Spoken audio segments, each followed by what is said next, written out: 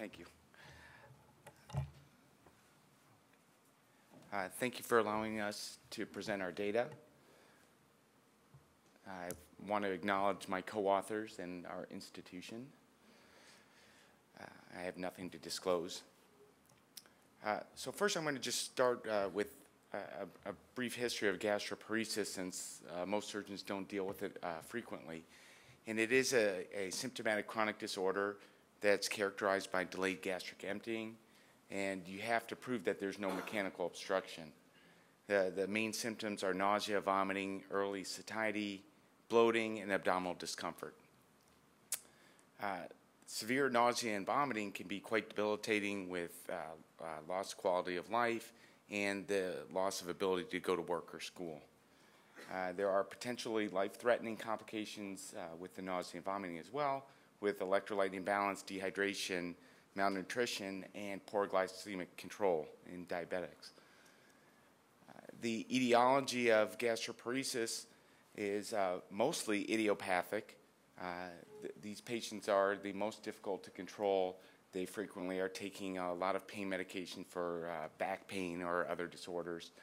Uh, there is a large percentage of diabetics, 29%, and then the post-surgical patients are 13%, which are frequently after anti-reflux operations done at other institutions, hopefully. Uh, um, the, the mainstay of uh, initial treatment is drug therapy to control nausea and vomiting and prokinetic agents. And some of the prokinetic agents actually worked quite well.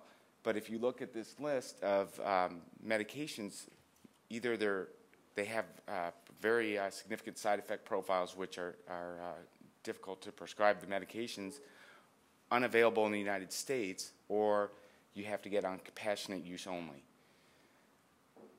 Uh, for drug refractory patients, there are uh, very few good options. Uh, enteral options are gastrostomy tube for decompression or jejunostomy tube for feeding. Um, there are complications with tubes, especially if you think this is going to be a long-term solution. Uh, Botox injection of the pylorus actually works in, in a lot of these patients, uh, but uh, just like Botox everywhere else, it is temporary. Uh, surgical procedures are gastrectomy, pyloroplasty, gastrojejunostomy, and uh, Roux-en-Y diversions, uh, such as a gastric bypass. So here we are to gastric electrical stimulation since none of those options are ideal. Uh, historically, there was high voltage, low frequency application of uh, the current, and that actually entrained gastric pacemaker cells, uh, but it had no effect on symptoms. So the, the researchers changed the way that it, that it worked and used low voltage, high frequency, and that has absolutely no impact on the pacemaker cells, but there were symptomatic improvements. Uh, and there was a question of uh, improved gastric emptying in the initial uh, pilot studies. So our hypothesis was that gastric electrical stimulation improved solid uh, phase gastric emptying symptom scores and quality of life in patients with severe gastroparesis. Our inclusion criteria, uh, this was all done under IRB protocol. Um, the device is a humanitarian use device which mandates that it be used under an IRB protocol at your institution. Uh, all patients had disabling nausea and uh, vomiting symptoms for greater than one year and were refractory to medications. Uh, documented uh, delayed gastric emptying on uh, nuclear gastric emptying scan, medically stable and nutritionally stable. Uh, this is the stimulator. the um, the device on the right is the actual implanted uh, device in the subcutaneous pocket. There are two gastric leads and the external held uh, programmer, which is in my office all the time. Uh, it, it, it, can be implanted either with a mini laparotomy or laparoscopy. Our initial, uh, our initial patients were done with laparotomy to make sure that we could figure out where to place it. Then we, for the last uh, three years, they've all been laparoscopic. You have to perform intraoperative endoscopy to help uh, define the level of the pylorus and as you're placing the lead to make sure that the lead does not go uh, through the mucosa. Uh, there are two leads, 10 centimeters proximal to the uh, pylorus and two centimeters apart. Uh, the, the current device settings, 5 milliamps of current, uh, and the impedance is patient dependent.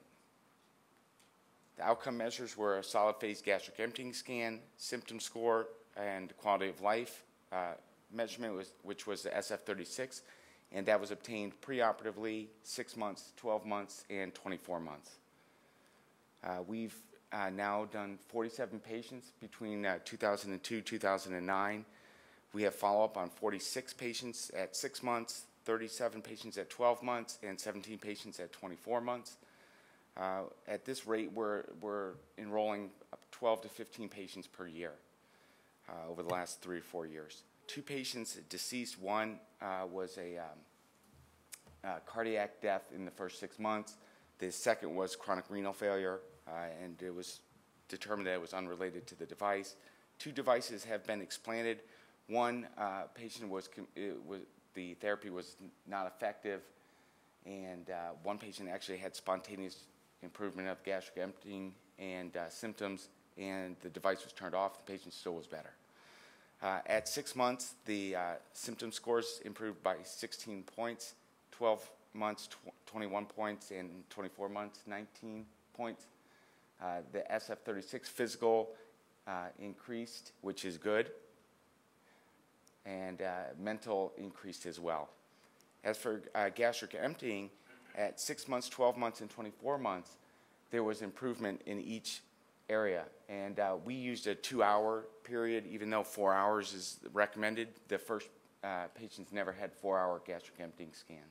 So I, I kept this. Uh, we did a multivariable analysis adjusting for uh, age, gender, race, and type of surgery. And the SIS and SF36 were correlated as we expected. And there is a correlation with the gastric emptying scan, although it, it's um, it wasn't statistically significant. It certainly has a trend, and I think with a larger patient population, that would uh, prove to be true. Uh, so our conclusion is that gastric electrical stimulation improves solid phase gastric emptying and symptom scores health, and health-related quality of life in patients with refractory gastroparesis. And uh, what we want to do in the future is uh, continue to evaluate these variables and the correlation to make sure that the symptom improvement actually is related to the gastric emptying because there are theories that the, the uh, symptom improvement is actually a vagal nerve stimulation and that there is no improvement in, in emptying. Uh, thank you.